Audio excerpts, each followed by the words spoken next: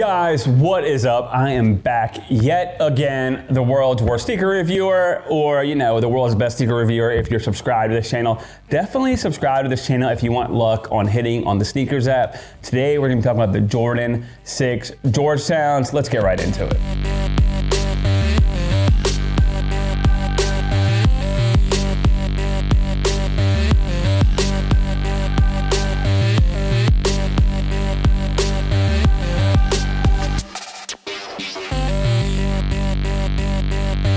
So we all know this year we have had some pretty good Jordan 6s from the Midnight Navies to the UNCs, but nothing.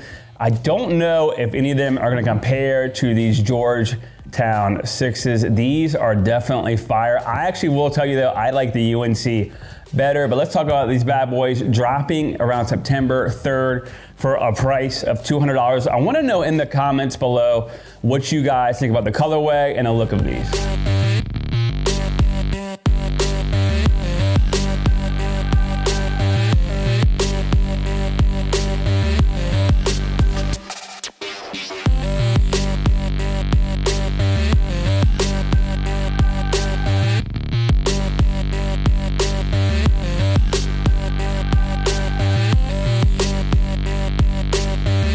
Right, guys, so let's talk about the quality on these. Quality on the suede and everything is super nice. I was not impressed at all with the Midnight Navy quality. Like mine, like had like, like strings, random strings coming out of them and all that. This is a really fire pair, but this right up here, definitely cheap quality at the top here tongue area and then the bottom and all that is definitely fire in my opinion some of the glue is coming off on these toe box all that super nice but Fire colorway for sure. The Georgetown colorway to me is always killer in my opinion. Let's get some better looks for these guys, uh, for, for these bad boys. I can't even talk. I'm so excited, Bobby.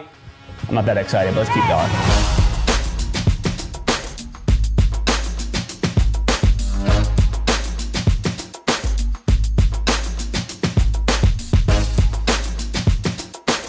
Yeah, quality wise, these are definitely fire. I'm definitely gonna give these bad boys a B. Let's talk about drops and all that. Again, these are gonna come out at some point. A lot of leaked pairs I've gotten out early for these bad boys. I got hooked up from my boy Leaked Sneaks on these. I think you're gonna see a lot of these drop when it comes to September. I doubt these will be delayed. I'm thinking resale wise on these gonna be like 275 with a price of like 200. So I don't know if I would buy them, you know, to flip or anything like that. If you can get them, great. These are definitely gonna be shoes that you wear. But let me know what you guys think. Are these better than the UNC or the Midnight Navy? Like, in your opinion, which ones definitely come to the top of the three?